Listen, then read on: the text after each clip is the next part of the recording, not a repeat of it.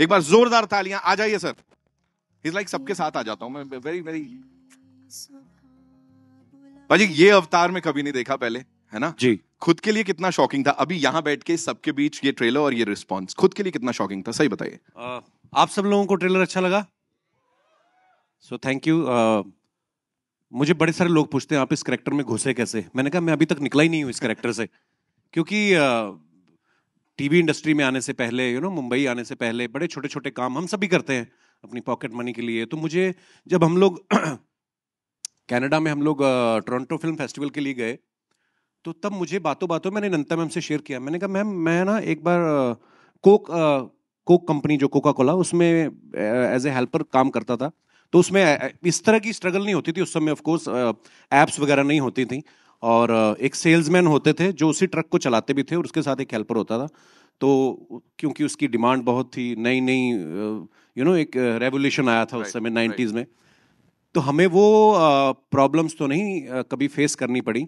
हाँ मेहनत होती थी ऑफकोर्स लेकिन जब ये फ़िल्म की मैंने स्क्रिप्ट पढ़ी और फिर नंदिता मैम ने इतनी रिसर्च के साथ बताया कि ये किस तरीके से ये लोग अपना काम करते हैं इनको कितना यू नो एक पर डिलीवरी पैसा मिलता है और कितना मुश्किल है इनके लिए। सो so, कहीं ना कहीं वो ज़िंदगी मैंने बड़ी करीब से देखी हुई है अपने शहर में। ठीक है समय के हिसाब से थोड़ी थोड़ी चीज़ें बदलती रहती हैं पर मेरे लिए शायद इतना मुश्किल नहीं था। और दूसरी बात यह है कि जब आपका कैप्टन आपके डायरेक्टर ये खुद अच्छी एक्टर हैं तो चाह के भी आप ओवर एक्टिंग नहीं कर सकते हो। ये पकड़ लेते हैं उसी समय। सो so, uh, मुझे बड़ी हेल्प मिली और स्पेशली मेरी को स्टार कहाँ ये दो लोग ऐसे थे मेरे आसपास कि यू you नो know, आपको एक प्रोटेक्ट करके रखते हैं एज एन एक्टर भी और बड़ी सारी चीज़ें। So thank you ma'am thank you Shahana well ये तो हुई मानस की बात लेकिन प्रतिमा की बात भी कर लेते हैं यहाँ पे give it up for the very gorgeous the very talented Shahana Goswami ladies and gentlemen जोरदार तालियाँ कम यार we can make some noise ये रात ही सुबह बुला There you go. Congratulations on this. This looks fantabulous. And first of all, you know, you teary eyed और what oh no no that's not okay थोड़ा सा हम इमोशनल सब हो रहे हैं पे। Tell me one thing no आपकी अपनी एक कहानी है इसमें। You have your own journey it's not you not just playing his wife there is much more to it so what what was the character like क्या लेस थी जिसमें घुसना पड़ा? And I you out of it और just like the gentleman here said he still in it I think हमें uh, हर character में कहीं एक कोई चीज़ मिल जाती है जो आप अपने अपनी पर्सनालिटी या अपनी किसी चीज़ से जोड़ सकते हो। तो प्रतिमा की तरह आई थिंक प्रतिमा बहुत होपफुल है एज अ पर्सन बहुत ऑप्टिमिस्टिक है। और वो मैं बचपन से ही ऐसी हूँ। मुझे हर चीज़ में सिल्वर लाइनिंग दिखती है। मैं हर चीज़ में एक उम्मीद के साथ जीती हूँ। एंड उम्मीद यही रहती है कि लोग अच्छे होंगे चीज़ें अच्छी होंगी। तो उसकी वो उसका जो जर्नी है वो उस उम्मीद के बलबूते पे ही चलता है और उसके लिए वो जर्नी हल्की सी आसान हो जाती है। क्योंकि उसमें एक उम्मीद है वो एक हँसी है। और आई थिंक वही वो चाहती है वो देखती है किस तरह से मानस स्ट्रगल कर रहे हैं और उनके लिए वो एक एक बर्डन बन रहा है अपने फैमिली को सपोर्ट करना। एक उनकी जो निजी ज़िंदगी बदल गई एक फैक्ट्री में मैनेजर थे अब वो एक कुछ और काम कर रहे हैं। लेकिन वो चाहती है कि वो उसको आसान करे उस ज़िंदगी को you know and the other thing that I loved is कि रिलेशनशिप जो उनकी है वो एक्चुअल पार्टनरशिप की है। उनमें प्यार भी है दोस्ती भी है एक उतार चढ़ाव जो रेगुलर होते हैं वो एक सिचुएशन में वो भी है। So it was just a very beautiful character और हाँ वो ऑप्टिमिज्म शायद मुझमें भी है। वो एक हर चीज़ को एक होपफुल नज़रिए से देखने का। राइट और उसी उम्मीद के ऊपर सब कुछ टिका है मुझे ऐसा लगता है. That that you know silver lining जैसा पाजी ने भी अभी यहाँ पे कहा था कि सेंटी हो गए सब लोग और लग रहा है कि यार दिल को छुएगा. आई थिंक वो जो कॉमन लोगों से उठाया हुआ चीज़ें हैं ना वही यहाँ पे मैटर करती है. इन दो कैरेक्टर्स को जिन्होंने जीवांत किया I would say ladies and gentlemen the very talented writer director producer give it up for Nandita Das जोरदार तालियाँ बनती है because this is a beautiful initiative Nandita Das initiatives का वेलकम पहले आप पहले आप। वाह अच्छा लग रहा है। मैम कंग्रेचुलेशन जी। हमारी टीम में असली प्यार है। बिल्कुल दिख रहा है हमें दिख रहा है। Okay first and foremost you know Nandita Das initiatives तो ऐसे ऐसे इनिशिएटिव लेने की वजह से ये नाम है बिकॉज़ ये बड़ा यूनिक सा है अपने आप में। जी मैंने जब मैं मंटो बनाने वाली थी तब मुझे अचानक कहा गया कि अच्छा मैं अगर प्रोड्यूस कर रही हूँ तो मेरे पास एक कंपनी होनी चाहिए। मेरे पास कोई कंपनी नहीं थी। तो मुझे वैसे भी कई चीज़ों में दिलचस्पी है तो मुझे लगा मैं उसको नंदिता दास प्रोडक्शन क्यों बनाऊँ? मैं तो अपने नाम से ही नहीं बनाना चाहती थी थोड़ा ऐसे हमेशा कोई बोलता है तो मुझे ऐसे छुपने का थोड़ा सा मन करता है कि कोई अच्छा सा नाम सोचना चाहिए था बट हाँ. एक घंटे में वो कंपनी बनानी थी तो मैंने सोचा इनिशिएटिव्स यानी आप अलग अलग चीज़ें कर सकते हैं अलग अलग क्रिएटिव चीज़ों का सहारा ले सकते हैं अपनी बात कहने के लिए। Right. तो इस वजह से ये ये नाम पड़ा उसका। अब इस इनिशिएटिव की बात करते हैं जुएगाटो ये मेरी दूसरी फ़िल्म होगी जी। इस एनडीआई के तहत। Right right. आप मुझे प्लीज़ ये बताएँ कि इसकी शुरुआत कहाँ से हुई थी? Because see we we see these wonderful people around us all the time right कहीं वो कौन सी एक चीज़ थी जहाँ ये जर्मिनेट हुआ कि इस पे बनानी चाहिए मुझे? ये कोविड के दौरान थी। और हम लोग सब अपने घर के अंदर बैठे हुए थे। एक तरह से स्टे होम स्टे सेफ़ जबकि दुनिया उथल पुथल हो रही थी। माइग्रेंट लेबरर्स की हम स्टोरी सुन रहे थे। तो मुझे लगा एक अच्छा होगा कि अगर हम एक न्यू इंडिया पे कुछ एक कहानी, चार डायरेक्टर्स मिल के साथ आएँ और एक कोई एक एंथोलॉजी करें। तो मैंने तीन और मेरे जो दोस्त फ़िल्म मेकर्स हैं, उनको इकट्ठा किया। मैं समीर नायर, उनके पास गई अपलॉज के पास कि आप इसे प्रोड्यूस करिए। उन्होंने बहुत इसको भी उन, उनको भी अच्छा लगा ये आइडिया और हम लोग बहुत बातें कर रहे थे। फिर धीरे धीरे एक एक डायरेक्टर गिरते गए साइड में क्योंकि उन्होंने कहा कि नहीं हमारी तो बड़ी फ़िल्म आ रही है। हम ये 20 मिनट फ़िल्म के लिए अपना समय अभी नहीं दे सकते। तो जब वो निकलते गए तो हम इक्के दुक्के बचे रहे तो वो एंथोलॉजी तो बन नहीं पाई। तो मैंने कहा चलिए मैंने कोशिश की। फिर समीर नायर ने कहा कि नहीं अच्छी तुम्हारी कहानी अच्छी है। तुम इसको खींचो और इसको पूरी एक फीचर फ़िल्म बनाओ। तो मैंने कहा, नहीं नहीं, इसकी फीचर फ़िल्म नहीं बन सकती। ये एक ये एक दिन की कहानी है, बस इतनी, इतना ही है इसमें। और मुझे रेटिंग एल्गोरिदम ये सब इतना समझ नहीं आता। मेरा गणित थोड़ा वीक है। तो उन्होंने कहा, नहीं नहीं, मुझे लगता है कि इसमें कुछ हो सकता है, तुम कोशिश करो। तो इनके धक्के मारने की वजह से मैंने इसको फिर लिखना शुरू किया। और अब आपके सामने है ये फीचर फ़िल्म अब बन गई अब एक दिन से चार दिन की हो गई है कहानी। और इसमें जो प्रतिमा का जो कैरेक्टर है जो पहले थोड़ा कम था वो और उसकी एक जर्नी हो गई उनके बच्चे हैं दो छोटे बच्चे जिनको हमने अम, उनकी भी बहुत अच्छी कहानी वो भी आपने देखा ट्रेलर में। तो एक आम आदमी और उनके परिवार की जो एक स्ट्रगल भी है होप्स भी है ज़िंदगी जैसे होती है उसमें एक चीज़ तो होती नहीं है। उसमें ह्यूमर भी है उसमें यू नो दुख भी है उसमें डिलेमास भी हैं। So it's it's very life like तो हम उसको एक किसी उसमें सिर्फ़ डाल दें तो शायद वो ज़िंदगी जैसी नहीं लगेगी। Thank you so much for sharing all that so beautifully and now ladies to invite on stage summon this gentleman इनको कंटेंट तभी तभी फील होता है जब ये अच्छा कंटेंट दे पाते हैं लोगों को। फिर चाहे वो टीवी पे हो ओटीटी पे हो या फ़िल्मों में हो। Mister Sameer Nair ladies and gentlemen CEO Applause Entertainment a big round of applause for him of course they produce the movie so welcome so good to see you and सबसे पहले मुझे ये बताइए सर वो कौन सा एक, और ये बोर्ड रूम में हुआ या कैसे हुआ था? ये ये फैसला कैसे लिया गया था कि इस फ़िल्म को हमें बैक करना है? एक्चुअली फैसला तो इन इन लोग ने मुझे बुलाया था। The other four directors and Nandita कि एक ये शॉर्ट फ़िल्म एंथोलॉजी बनानी है। तो उस चक्कर में हम लोग ने बातें शुरू की। एंड ये सारी कहानी अच्छी थी। No Nandita story was always the stand out जैसे ये कह रही हैं कि एक एक करके सब निकल गए। फिर कोविड आ गया। सब लोग सब लोग घर में बैठे रहे। एंड फिर उस दौरान में Nandita wrote this story right in full and then the minute the first wave got over and we were able to come back Yeah. फिर हमने काम शुरू किया to how to make it and I must say that it's Nandita's inspired choice to get Kapil Paji because uh, you know I mean when you think of the combination Nandita Das and Kapil Sharma वो बहुत दूर दूर की बात होती है तो but you know she was quite convinced she was able to convince That was a big thing. And then वहाँ से वो आगे बढ़ते गया। स्पेक्ट्रम के दो हिस्से हैं सर ये हाँ, अब साथ में आ गए। अब नहीं है। अब नहीं है? कई बार हमें दूर से लगता है कि ये बहुत ही अलग मुझे भी लगा था हम दोनों बहुत अलग दुनिया के लोग हैं पर अब क्योंकि एक दूसरे को जानने लगे हैं काम करने लगे हैं कई बार जो आपको लगता है कि आपके दायरे के लोग हैं ज़रूरी नहीं है कि वो हैं। हाँ, मतलब दिल से अगर इंसानी तौर पे अगर देखें तो कपिल और मेरे में बहुत ऐसी सिमिलैरिटीज हैं कि हम घंटों बातें कर सकते हैं हंस सकते हैं सीरियस बातें भी करते हैं तो हम लोग बहुत जल्दी लेबल कर देते हैं लोगों जी, को। जी। तो एक तरह से आई होप कि जो आप लोग जब फ़िल्म देखेंगे तो एक खुले दिमाग से सिर्फ़ एक कहानी देखने आएँगे इन सीधे साधे लोगों की जो और इस तरह के किरदार हमारी फ़िल्मों से कम होते जा रहे हैं। जब तक उनकी ज़िंदगी में कुछ बहुत ड्रामेटिक नहीं होता हमें गाँव की कहानियाँ नहीं मिलती हमें शहरी आम आदमी की कहानियाँ देखने को नहीं मिलती। It has to be something over dramatic एक आम आदमी की सरल कहानी आज के दौर की कि क्या उनकी लाइफ है इस पे फोकस करने का हमें बहुत कम मौका मिलता है so I am hoping that ये आपको कहीं ना कहीं छू जाएगी और आप इससे रिलेट कर पाएँगे and now before we take your questions Sameer sir एक और सवाल दैट इज़ इस टाइटल को लेके Zwigato Zwigato what do we say and कहाँ से आया इसकी शुरुआत कैसे हुई actually, it's a nice sounding name. Yeah, it is. थोड़ा odd है, हाँ, familiar भी है. You think it might be two names in one, um, which you do, then that's good. Um, वो हमारा आइडिया बिल्कुल नहीं था. आराम से ही set Um, it is just वो एक nice ring है. In fact, हमने ये भी सोचा था कपिल से बात भी हुई थी कि नो लोग प्रोनाउंस नहीं कर सकेंगे तो हमें एक थोड़ा प्रमोशन वो भी करना चाहिए कि you know mispronouncing Zwigato because people say Zigato वो जिसको जैसे बुलाना बट है। It's just nice name it's a nice ring to it और आप सोचेंगे अगर जो भी डिलीवरी के एप्स हैं उन सब के नाम अजीब अजीबोगरीबी होते हैं।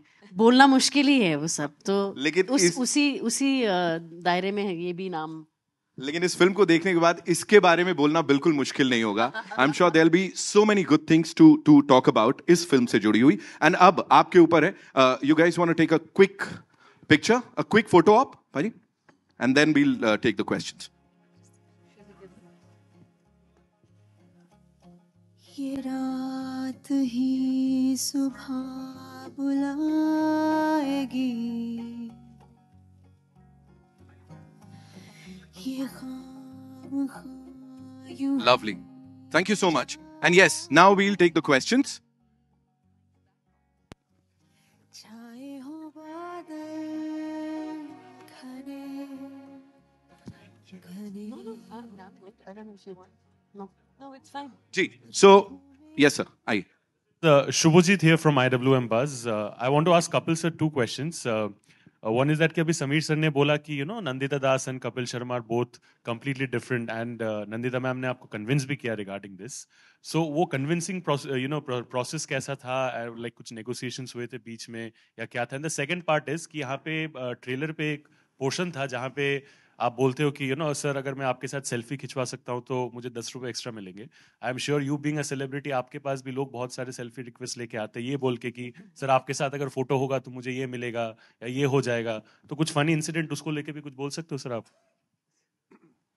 अ, आपके पहले क्वेश्चन पे मैं आता हूँ कि अ, नंदिता मैम ने जब इस फ़िल्म के लिए मुझे अप्रोच किया तो आई थिंक कोई हमारा अ, क्योंकि मैं इनके काम का फ़ैन रहा हूँ यू नो जैसे मैंने अभी बताया तो 50 परसेंट तो मैं वैसे ही अ, अंदर से मान चुका था कि ये जो भी लाएँगे बिकॉज़ जब आप किसी को बड़ा एडमायर करते हैं जब आप अ, अ, किसी के काम को बहुत पसंद करते हैं तो एक, एक भरोसा होता है कि ये जो भी करेंगी क्योंकि बहुत लिमिटेड करते हैं। ऐसा नहीं कि हर साल दो फ़िल्में बनाती हैं ये ये अपने प्रोजेक्ट को पूरा टाइम देती हैं। और कहीं ना कहीं मुझे ये था कि अगर ये ऐसा सोच रही हैं तो कुछ अच्छा ही सोचा होगा। फिर जब हमारी मुलाकात हुई जब इन्होंने ये कहानी शेयर की सो मुझे मुझे ये लगा कि शायद मेरे लिए लाइफ टाइम अपॉर्चुनिटी है क्योंकि जैसे अभी हम लोग बात कर रहे थे कि कोई सीरियसली लेता नहीं है है ना? मेरी बीवी ने भी शादी की एक दो साल बाद सीरियस लिया जब मैं बाप बन गया ना? उसके पैसे वो भी सीरियसली नहीं लेती थी। तो अ, जब तक हम लोग अ, कुछ करते नहीं है वैसा कुछ अलग ना करें तो लोग भी आपको यू नो वो सो एक ये अ, नंदिता मैम को और समीर सर को मैं अगेन इनको थैंक्स कहूँगा कि इन्होंने मुझ पर बिलीव किया। और नंदिता मैम के बारे में एक और बात मैं कहना चाहूँगा कि इन्होंने, जब मुझे पहली बार इन्होंने मुझे कहानी सुनाई, मैंने कहा, मैम वाई मी मैं ही क्यों? तो इन्होंने बड़ी अच्छी बात बोली। मुझे समझ में नहीं आया थोड़ी देर की वो मेरे लिए कॉम्प्लीमेंट है कि या मेरी इंसल्ट हुई है। मैंने कहा वाई मी कहती, देखो, इस फ़िल्म के लिए अगर मुझे ग्लोबल स्टार शाहरुख खान भी हाँ करेंगे ना तो मैं उनको भी नहीं लूँगी। मैं कहा, फिर मैं क्यों? क्योंकि तुम्हारा चेहरा कहती आम आदमी जैसा है। तुम कहीं के भी लगते हो। तो मुझे ऐसा लगता है कि तुम मेरे कैरेक्टर के लिए सूटेबल हो। सो so, बाकी जैसे मैंने कहा कि ये लाइफ जो है हमने uh, बहुत करीब से देखी है। हम वैसी हम्बल बैकग्राउंड से आते हैं सो so, इतना मुश्किल नहीं था। और दूसरा सेल्फी वाला हाँ मतलब मुझे मैं बड़ा इन्जॉय करता हूँ जब लोग सेल्फी लेते ना। क्योंकि यही इसी के लिए तो हम लोग काम मेहनत करके आए आगे तक। सो so, हाँ ऐसा कोई नहीं बोलता कि आप मेरे साथ सेल्फी लोगे तो मुझे दस रुपये मिलेंगे। क्योंकि मैं मैं मैं मैं वो डिलीवरी मंगवाई नहीं किसी से सो। So, हाँ पर लोगों का प्यार मिलता है तो अच्छा लगता है। ओके हाँ। मेरा सवाल इधर से trailer look very you know it's look so impressive और वो कहीं जज्बाती तौर पे जोड़ता है। मैं हैरान हूँ कपिल अ, शर्मा सर को देख के। अ, जो शख्स अ, हमेशा रुलाता हंसाता आया है उसे देख के तरस आ रहा है। अ, उतना you know you're there in the skin of the character Nandita ma'am आपसे पूछना चाहूँगा आप पहले दिन शूट के पहले दिन क्या ब्रीफ था किरदार को लेके कपिल सर को?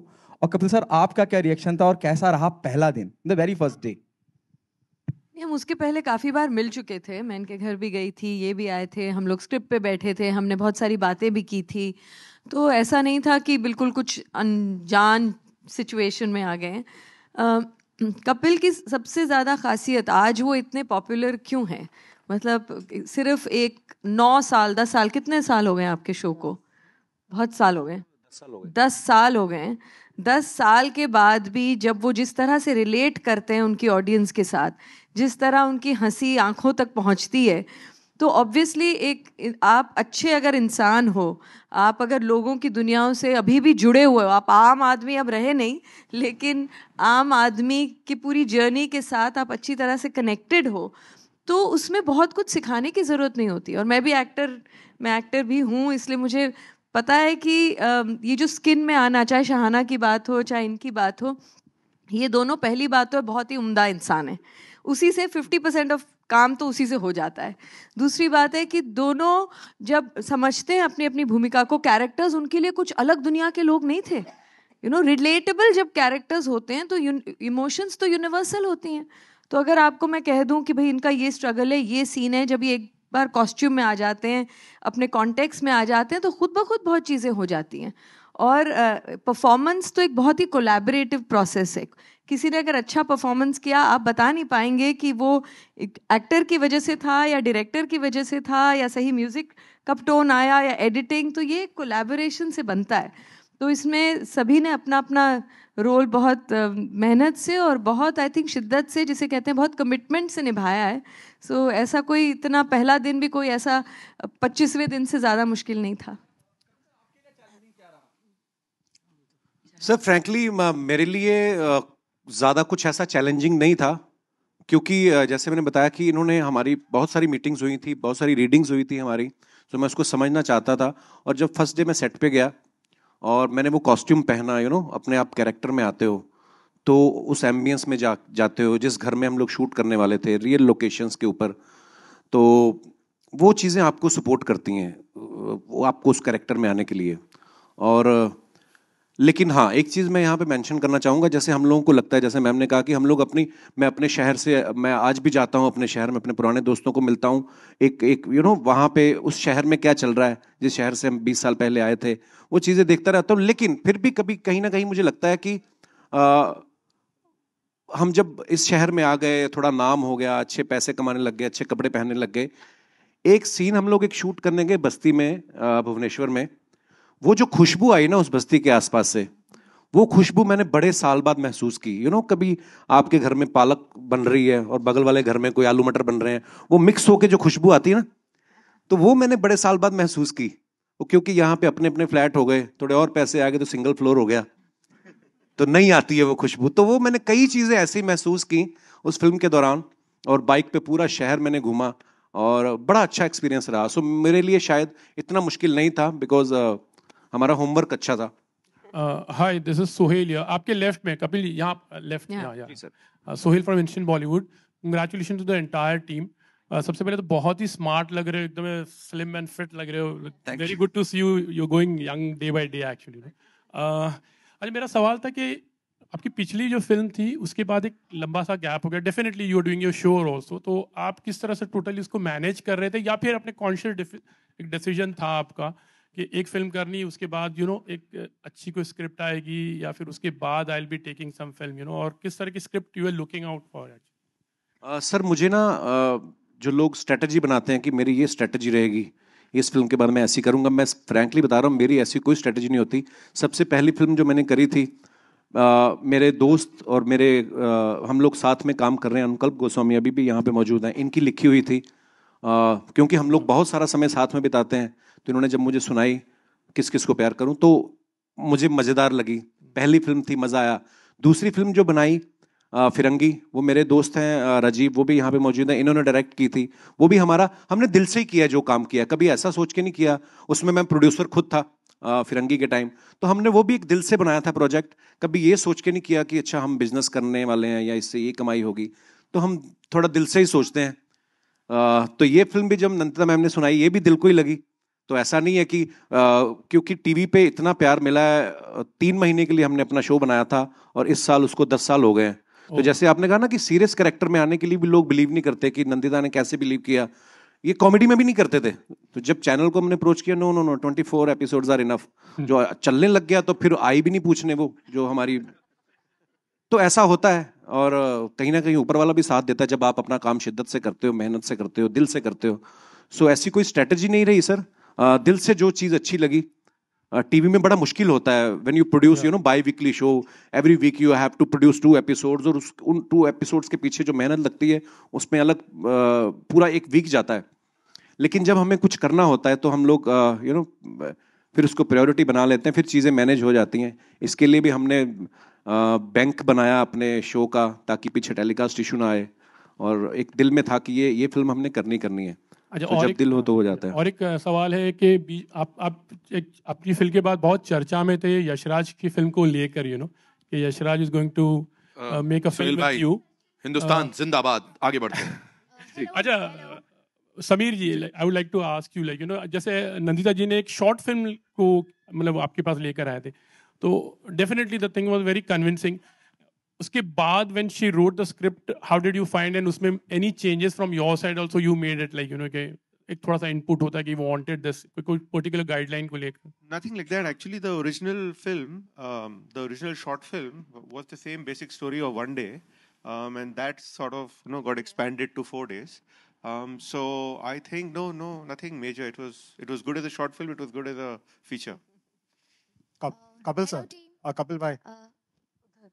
टूवर्ड्स योर लेफ़्ट जी सर आर कपिल भाई first of all trailer is so soulful it touches everybody's heart मेरा सवाल यह है कि uh, जहाँ पे कपिल शर्मा का नाम आता है जहाँ पे आपका प्रेजेंस है तुरंत लोग सोचते हैं कॉमेडी और जहाँ पे भी आप दिखते हो पीपल इमीडिएटली एक्सपेक्ट कि आप उनको काफ़ी हंसाओगे। अभी ये फ़िल्म वैसी नहीं है। आपको कहीं ना कहीं जब आपने स्क्रिप्ट पढ़ी आपको आपने खुद ही बोला कि आपको कन्विंसिंग की ज़रूरत नहीं पड़ी। लेकिन फैंस के बारे में सोच के कि आपको कहीं लगा कि वो लोग कॉमेडी एक्सपेक्ट करेंगे ये फ़िल्म में कॉमेडी इतना है, नहीं है शायद आपके कोर फैंस डिसअपॉइंट हो जाएँगे? अ, सर मुझे ऐसा नहीं लगता है कि देखिए सबसे पहले तो हम एक इंसान है। मेरी ड्यूटी भगवान ने लगाई है लोगों को हंसाने की। आप जर्नलिस्ट हैं। पर बीइंग एक एक इंसान होने के नाते हम सब में सब तरीके के इमोशंस है। You know sometimes we are happy sometimes we are upset और ये फ़िल्म करने के पीछे मुझे भी लगा क्योंकि मैं टीवी पे लोगों को दो घंटे हंसाता हूँ है ना? पर ज़रूरी नहीं है कि मैं 24 घंटे उस मूड में होता हूँ। सो जो अ, हमें प्यार करने वाले लोग हैं वो दिल से कनेक्ट करते हैं। इसीलिए शायद आज 10 साल से हम लोग टीवी पे रेगुलर वो अपना शो चला पा रहे हैं। सो आई थिंक जो लोग दिल से कनेक्ट करते हैं वो शायद आपको ज़्यादा जज नहीं करते हैं। और मुझे भी ऐसा लगता है कि अ, लोग कॉमेडी में देखना चाहते हैं कि मैं और कॉमेडी करूँ और वो तो टीवी पे हम लोग करते ही हैं। लेकिन आ, ये फ़िल्म में शायद वो ज़्यादा खुश होंगे क्योंकि उन्होंने शायद ऐसे किरदार में इतना सीरियस गंभीर भाव में कभी मुझे देखा नहीं है। सो मैं एक जैसे मैंने पहले कहा ना कि हमें लग रहा है कि ये हमारे हिंदुस्तान की ऐसी कहानी है। मुझे एक किस्सा याद आया जब हम लोग साउथ कोरिया में थे भूसान में तो मैं और मेरी वाइफ ऐसे साइड पे जो दो सीट होती हैं वहाँ पे बैठ के देख रहे थे और वहाँ पे बहुत कम रेयरली तीन चार इंडियंस थे तो एक लड़की बैठी हुई थी जर्नलिस्ट भी थी वो and she suddenly started crying तो मेरी वाइफ ने बोला वो देखो लड़की रो रही है। तो मुझे लगा यार इसको मेरी परफॉर्मेंस तो नहीं खराब लगी कहीं? ये क्यों रो रही है? तो फिर जब हम लोग यू नो एक उनके साथ कॉन्वर्सेशन करना शुरू किया तो उन, उस कंट्री को देख के लगता था कि यार इनका इंफ्रास्ट्रक्चर इतना अच्छा है सड़कें इतनी साफ़ है सब कुछ मतलब सब कुछ अच्छा अच्छा वाला। आउटस्कर्ट्स में हम लोग को जाने का मौका नहीं मिला। लेकिन उन्होंने बोला कि सर हमारी कंट्री में भी ऐसा हुआ है ऑब्वियसली ग्लोबली ऐसा हुआ है बहुत सारे लोगों की जॉब्स गई। सो इमोशन कहीं ना कहीं यू नो एक फैमिली एक इमोशंस हर जगह यूनिवर्सली सेम ही है। सो अगर वो लोग कनेक्ट कर सकते हैं जो उनको तो पता ही नहीं था कि मैं कॉमेडियन हूँ या कौन। उन्होंने पहली बार मुझे देखा। सो जो लोग हमें जानते हैं आई थिंक उनको भी मज़ा आएगा। इसमें मैं थोड़ा सा जोड़ सकती हूँ एक छोटी सी बात। जैसे टोरंटो में भी फेस्टिवल मैं कई बार जा चुकी हूँ अपनी पुरानी दूसरी फ़िल्मों के साथ बट इस बार जब मैं गई तो कपिल के बहुत सारे फैंस आए, जो कभी शायद फेस्टिवल में नहीं आए। तो मैं भी सोच रही थी, पहली हमारी स्क्रीनिंग थी, मुझे लगा कि अच्छा इनका क्या रिएक्शन होगा? इन्होंने तो इस तरह की फ़िल्में ही शायद नहीं देखी हैं, वो क्या डिसअपॉइंट जो आपने बताया कि डिसअपॉइंट हो गए। और उनके जब जब उन्होंने सवाल करने शुरू किए या उनसे जब बात हुई आखिर में, वो बहुत ही इनफैक्ट खुश थे। उन्होंने कहा कि उस रूप में तो हमने उनको देखा है। एक नए रूप में देखने की जो हमारी एक क्यूरियोसिटी थी तो डिसअपॉइंटमेंट का एक्चुअली उल्टा हुआ। कि उन्होंने एक अलग रेंज में देखा। तो हम लोग कई बार ये सोचते हैं कि हमें ऐसा है तो हम वही देखते जाएँ। पर अगर हम जैसे मैंने पहले भी कहा खुले दिमाग से देखें तो आपको एक नए अवतार में दिखेंगे ये जो शायद पहले आपने कभी नहीं देखा। जैसे मैंने जब शादी की ना तो मुझे भी डर लग रहा था मैंने आज तक कभी शादी नहीं की करनी चाहिए या नहीं। अच्छा होता है कभी कभी कुछ नया करना। Uh, Shahana, I have a question for you too. Uh, you're a fantastic actress. you. So, but uh, the one gripe uh, the media has, the audience has, is that we don't see enough of you. Do you always wait for such uh, subjects that touch people's heart, jo are such soulful, like I said, and that is why we don't see so much of you on screen? Thank you firstly and I think मेरा भी जवाब uh, Sachin पाजी जैसा ही है कि मैं दिल से ही चीज़ें मेरी कोई स्ट्रैटेजी कभी रही नहीं है और जो भी चीज़ें आती है स्क्रिप्ट आती है दिल मेरा दिमाग तो उसमें चलता ही नहीं है। जहाँ अंदर से एक फीलिंग आती है कि इस चीज़ को करना है तो ही मैं करती हूँ। चाहे वो मेरे दोस्त बना रहे हो चाहे वो कोई और बना रहा हो उससे कोई फ़र्क नहीं पड़ता है। इट्स लाइक like अंदर से एक आवाज़ आती है कि करना है या नहीं करना है। तो अ, वो शायद बचपन से ही था। बिल्कुल शुरुआत से मेरे लिए वही मेरा गाइडिंग फोर्स रहा है।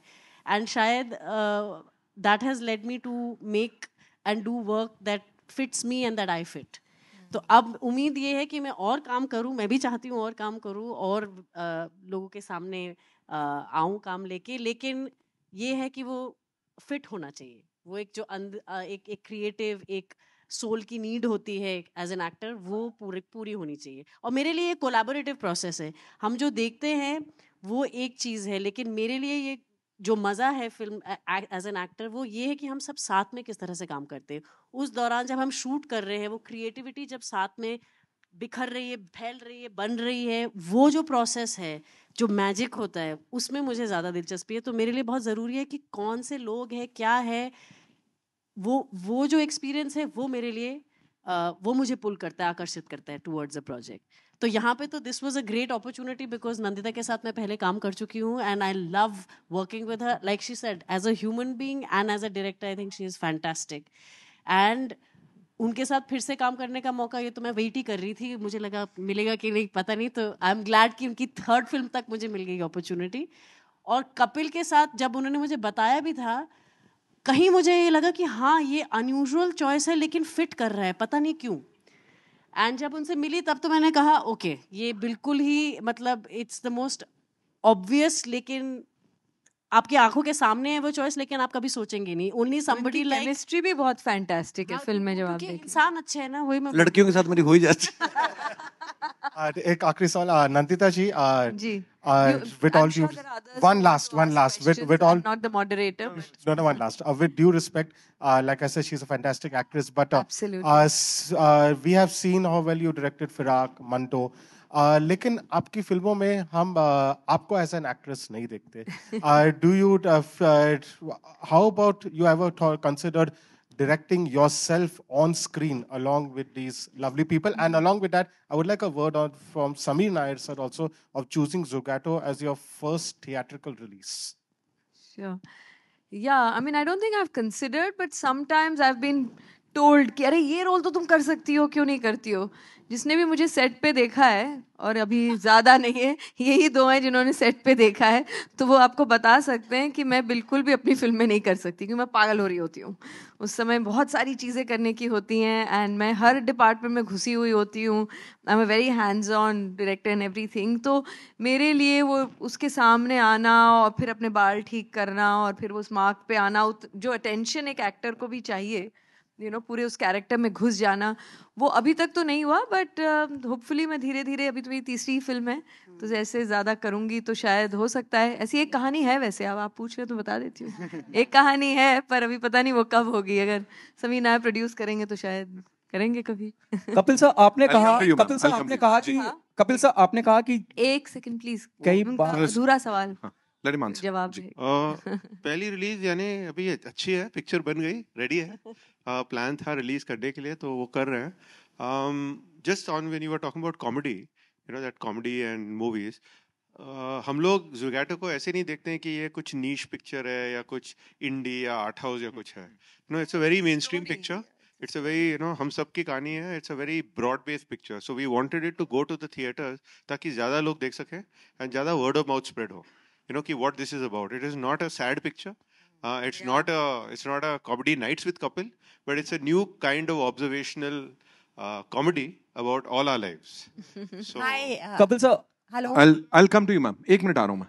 कपिल सर आपने कई बार ज़िक्र किया और बाकी टीम ने भी ज़िक्र किया कि जो कुछ भी कर रहे हैं दिल से कर रहे हैं और वो दिखता है दिल से कर रहे हैं फ़िल्म के बारे में ये भी कहा गया कि आम आदमी का कहानी है और ट्रेलर के माध्यम से भी नज़र आता है क्या पैगाम देना चाहते हैं आप, जब मैं ऑडियंस की बात करता हूँ, आम आदमी की बात करता हूँ, और हर वो आदमी इससे रिलेट कर सकेगा, ऐसा ट्रेलर से महसूस होता है। क्या मैसेज देना चाह रही है फ़िल्म? ये सवाल। और आपके लिए, जैसे आपने कहा कि आप भूसान में थे, जहाँ लोग आपको जानते नहीं थे, लेकिन आपने देखा, आपकी वाइफ ने बताया कि देखिए वो रो रहे हैं। क्रिटिकली कितना इंपॉर्टेंट है आपके परफॉर्मेंस को अप्रिशिएट करा जाना? वो वो कितनी उम्मीद है आपको? जी. सर पहले तो ये है कि अ, ये फ़िल्म की जो कहानी है जैसे समीर सर ने कहा कि इसमें आपको कहीं हँसी भी आएगी कहीं आप सीरियस भी हो जाएँगे कभी आपको उसके साथ एक हमदर्दी भी होगी सारे रंग हैं जो ज़िंदगी में होते हैं। और बाकी अ, इसमें मैसेज ये है कि शायद हम सबकी ज़िंदगी में यू नो जितने भी लोग यहाँ पे मौजूद हैं ऐसा नहीं कि सबकी लाइफ बड़ी स्मूथ चल रही है कहीं ना कहीं कुछ ना कुछ अपने अपने लेवल पे सबकी ज़िंदगी में कुछ हर्डल्स आते हैं कुछ प्रॉब्लम्स आते हैं। आ, लेकिन उसको लेके बैठ जाना और उसी को लेके रोते रहना ये भी ज़िंदगी नहीं है।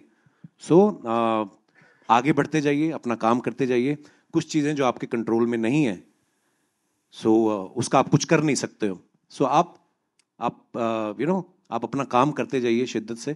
कहीं ना कहीं भगवान को अपना काम करने दीजिए। तो ये इस फ़िल्म में आपको देख के सारे रंग जो हैं देखने को मिलेंगे।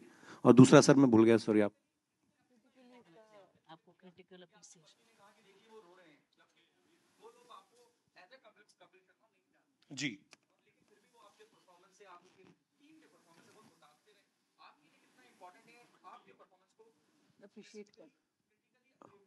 सर मुझे लगता है कि अ, मुझे शायद एप्रिसिएशन नहीं मिले लेकिन इस किरदार को एप्रिसिएशन मिलनी चाहिए। अगर आप आप उस किरदार को देख रहे हैं अगर आप उसके साथ कनेक्ट कर रहे हैं अगर उसको एप्रिसिएशन मिल रहा है मानस को तो आई थिंक वो कहीं ना कहीं यू नो मैं खुश होऊँगा कि हाँ यार मैं उस किरदार को सही से निभा पाया। सो बाकी लोग प्यार तो पिछले पंद्रह साल से कर रहे हैं। लेकिन ये जो है इसको देख के मैं खुद जब मैंने अभी ट्रेलर देखा सो so, मैंने पहला ट्रेलर जो आया है वही देखा था और बड़ी स्क्रीन पे मैंने भी आज पहली बार ही देखा है। सो आई थिंक मैंने बहुत अच्छा काम किया so, बिल्कुल। एक सेकंड सिर्फ़ ये जो बार बार एक थोड़ा excuse me just one little thing ये जो आप पूछ रहे हैं ना क्यों बनाई? इसका मैसेज मैसेज थोड़ा भारी भरकम शब्द है लेकिन क्यों बनाई कि बहुत सारे ऐसे जो आम लोग जिसको हम कहते हैं, जो नेमलेस फेसलेस हो गए हैं, जो दिखाई भी नहीं देते, उनकी कहानियाँ नहीं दिखाई देती हैं पर्दे पे, उनको हम कैसे वापस पर्दे पे लाएँ, उनकी कहानियाँ हम कैसे देखें? इसका अगर आप एक फ़िल्म का मेन मकसद अगर आप सोचेंगे तो ये हम सबके लिए शायद मैं if I can take the liberty of speaking on everybody's behalf कि ये है कि हम उनको विजिबल बता, करना चाह रहे हैं that let's put their story back where it should be और एक आई थिंक जनरली एक हमदर्दी आई थिंक हमदर्दी एक चीज़ है जो हमने कोविड के थ्रू भी देखा है, सीखा है और हम एक दूसरे को देखना बंद कर दिया था। मतलब एक आसपास के लोगों को हमने ऑलमोस्ट एक मतलब अपनी ज़िंदगी में इतने धुत हो गए थे कि आसपास की ज़िंदगी दिखती नहीं थी। तो यहाँ पे एक इंसानियत के तौर पे हमदर्दी वापस जताना या लोगों में महसूस कराना I think that's also a very key part और जिस तरीके से जैसे शाना ने कहा, मैम ने कहा कि जब पैंडमिक था यू नो हमारे पास और कुछ करने के लिए नहीं था तब हम छोटी छोटी चीज़ों को नोटिस करना शुरू किया। एक डोमेस्टिक हेल्प हमारे घर में कितनी इंपॉर्टेंट होती है। आप सोचिए अगर आपके घर का कोई डस्टबिन उठाने ना आए छः दस सात दिन तक तो आपकी होश ठिकाने आ जाएगी। और हम लोग इतना फॉर ग्रांटेड ले लेते हैं हम कभी उनको थैंक यू नहीं बोलते या शायद उनकी शक्ल भी नहीं हमें पता होती है कि कौन आता है। सो so, uh, मुझे लगता है कि जो हम वो दो तीन साल पैंडमिक के दौरान रहे अगर वो हमारा बिहेवियर जो है, ताउम्र आ जाए हमारे अंदर कहीं ना कहीं प्रैक्टिस करने से आ जाएगा आई थिंक वो अगर रहे तो ज़िंदगी बहुत खूबसूरत हो सकती है। और हम छोटी छोटी चीज़ों के लिए अगर किसी को थैंक यू बोल दें तो आप यू नो उसका भी एक परिवार है, उसको भी गर्व होगा कि मैं भी आज कुछ काम करके आया हूँ। सो मुझे लगता है कि ये फ़िल्म से भी लोगों को शायद, अगर दो लोग भी ये चीज़ सीख गए तो शायद हम समझेंगे कि हम कामयाब हैं। जी मैम Nandita. Hi, Nandita. आ रहा हूँ मैम मैं I I come to you एक second I come to you ji Nandita, hi. You want to ask something पाजी आई कम टू यू या दो minute Uh, please. Nandita here on your left. Here. Uh, I want to ask you, is there a larger story? I mean, how it's relevant? Is there like a larger picture, like uh, unemployment during pandemic that has been rising even now? Is is there something? I mean, that definitely, I- there's a lot of anxiety, not just in India, but world over About unemployment you know ये सबकी दिक्कतें हैं। या तो आप unemployed हैं, या जो काम कर रहे हैं, जैसे कपिल ने भी पहले बताया था कि जो आप काम नहीं करना चाहते हैं, मजबूरी में कर रहे हैं।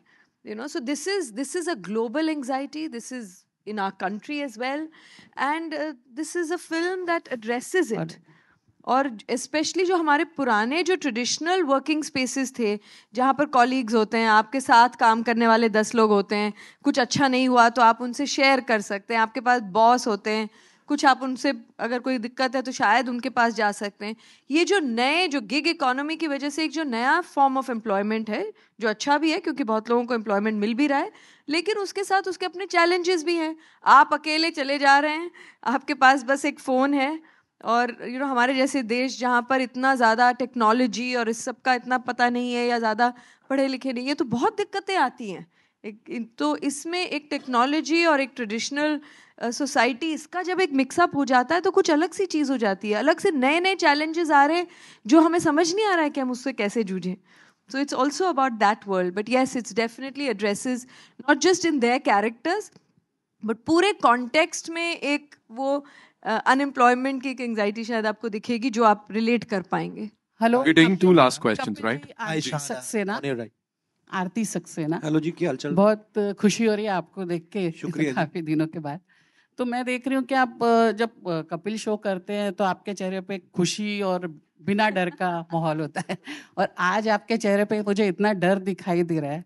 और आप इतने टेंस दिख रहे हैं। डर तो भी नहीं। टेंस भी दिख रहे हैं आप। मतलब आपके चेहरे पे हँसी नहीं है। तो वो हँसी कहाँ गायब आई थिंक मैं बड़ा समझदार आदमी हूँ जिस तरह जैसा माहौल हो वैसा हो जाता हूँ।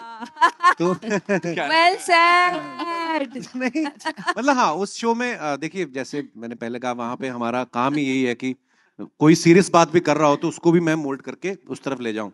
तो आई थिंक ये बातें यहाँ पे फ़िल्म को लेकर हो रही थी तो इसलिए मैं थोड़ा गंभीरता से सुन रहा था क्योंकि आपको ऐसा तो नहीं कि डर लग रहा है कि मेरी फ़िल्म रिलीज़ हो रही है तो इस तरह से? नहीं मैम ऐसा कुछ नहीं है। ऐसी डर वाली बात नहीं है बट हाँ मैं मैं गंभीरता से सुन रहा था सब बातें। अच्छा। तो इतने इंटेलेक्चुअल लोग मेरे ग्रुप में कम ही हैं। तो मैं इसलिए ध्यान से सुन रहा था कि नंदिता जी क्या बोल रही हैं। मुझे ये पूछना था हमेशा से मेरे दिल में सवाल है ये कि आप है ना एक्टर और कॉमेडियन से अच्छे सिंगर भी हैं तो किसी फ़िल्म पे ये नंदिता जी को ही आपको एक चांस तो देना चाहिए था।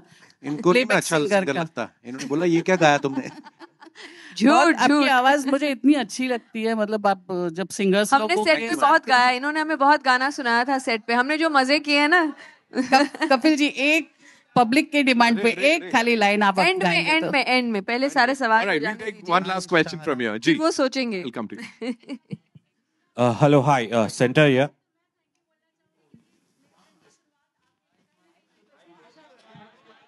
रुक जाओ रुक जाइए आइए।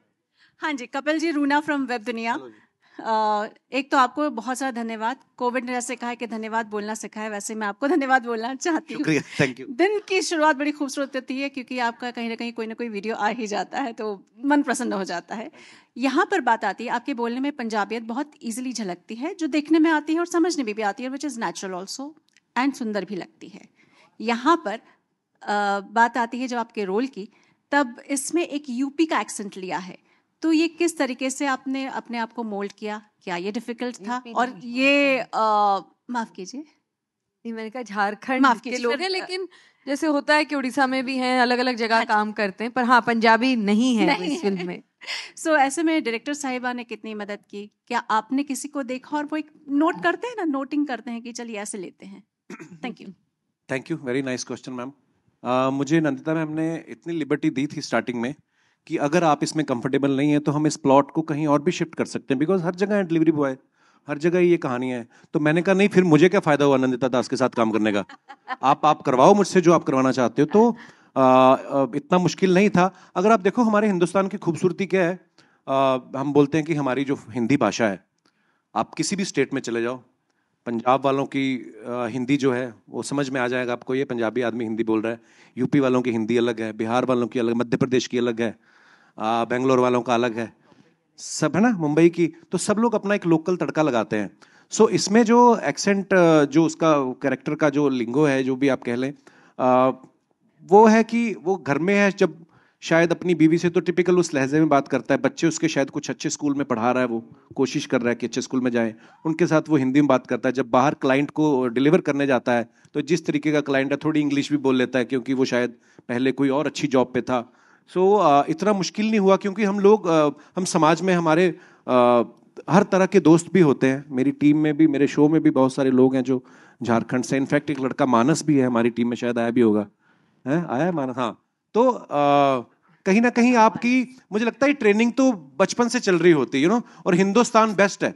मुझे लगता है किसी ड्रामा स्कूल जाने की ज़रूरत नहीं है। अगर आप हिंदुस्तान में पैदा हो जाओ ना तो बड़ी सारी चीज़ें आपके साथ वैसे ही आ जाती वैसे ही सीख जाते हो। सो इतना मुश्किल नहीं था ma'am hello. Yeah. All right, so that's all we have for you, ladies and चिल्ला लो।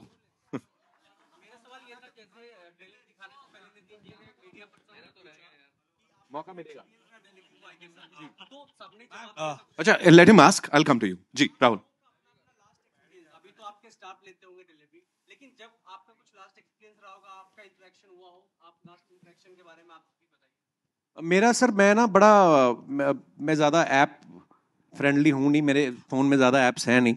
तो मेरी वाइफ है मैं वैसे घर का ही खाना खाता हूँ। शादी के बाद कभी गया नहीं बाहर। तो थोड़ा हेल्थ कॉन्शियस कर दिया मेरी वाइफ ने मुझे। तो मैं बहुत कम खाना खाता हूँ बाहर का। कभी कभार मन होता है तो मंगवाते मेरी वाइफ के पास ही ऐप है पर हाँ एक किस्सा था मैंने मैम को भी बताया था। आ, हमारे हमारे घर में एक स्टाफ हमारे अर्जुन भैया हैं उनका बर्थडे था तो केक मंगवाया मेरी वाइफ ने। तो वो जो केक लेके आया बंदा वो शायद आ, पलट गया। होता ना कभी कि उसका जो साइड थी पलट गई तो सारी क्रीम व्रीम जो डब्बे पे लग गई। तो मेरी वाइफ आई बोलती वो वापस जा रहा है केक लाने उसका केक पलट गया मैंने कहा उसको रोक रोक। तो शायद वो अभी लिफ्ट की वेट ही कर रहा था। लिफ्ट आई नहीं थी। तो मैं गया मैं कहा भैया हमें हमने वैसे भी काट के खाना यार दे दो। शायद मैं इतना पहले ना सोचता मुझे मुझे शायद ये लगता है कि ये रूटीन प्रोसेस होता है। अगर पलट गया केक तो शायद लाते होंगे। लेकिन जब ये फ़िल्म करी तब मुझे लग, पता चला कि नहीं यार ये बंदा शायद जिस कंपनी से लेके आया है वो प्रोडक्ट वो भी इसको डांटेंगे शायद जेब से देने पड़े इसको। और हमने तो वैसे ही खाना था तो यही मेरा एक किस्सा है। पर शायद ये फ़िल्म नहीं करता तो शायद मैं इतना सेंसिटिव नहीं होता मुझे पता नहीं चलता कि ऐसा भी होता है। So that's all we have for you. I know we are just running uh, out of time, so we have to wrap this up. Thank you so much, ladies and gentlemen. Mayur Bhai, sorry, Paji. Next time. And, uh, you know, I have to say, I have to say that this was one of the most insightful sessions that we've had uh, पिछले कुछ अरसे में इतने सारे सवाल इतना सारा enthu और इतना सारा एक्साइटमेंट लेडीज एंड जेंटलमैन जोगाटो के लिए जोरदार तालियां हो जाए एक बार 17th March is when we'll go and watch this movie And uh, we'll have a quick photo op and then we'll wrap this up. Sure. That you spread the word. अच्छा वो बोल रहे थे आप लोग। हाँ। पाजी एक लाइन बनती है। आप आया था। तो कौन सा गाऊं? ऐसे अच्छा ये कह रहे थे। हाँ। कौन सा वाला? जो गाना आपने कोई आप लोगों की खास फरमाइश हो तो आप लोग। आपने मेरे लिए का गाना? जो शूट शूट पे। हाय। हाय मैं शिल्पा रहा हूँ? मैं मतलब मैं ऐसे कैसे कहूँगा? नहीं कोई नहीं वो अभी बहुत सारे इवेंट करेंगे हम कहीं मैं सुनाऊँगा आपको ऐसा ऐसे कुछ याद नहीं है दिमाग में। पाजी आपको तो समझ में आ जाएगा आप पंजाबी हो वो पंजाबी सॉन्ग है। बाकियों को कैसे पता चलेगा? आपने मेरे लिए गाया था याद है? मैं आप सबके लिए गाता हूँ। वो वाला कौन सा वाला? पाजी गलत गलत गज़ल प्यार का पहला है। यहाँ पे थोड़ी थोड़ी मंगवा भी लो फिर। माहौल तो बना ही रहे आप गज़ल का। नहीं नहीं सीरियसली गज़ल गज़ल।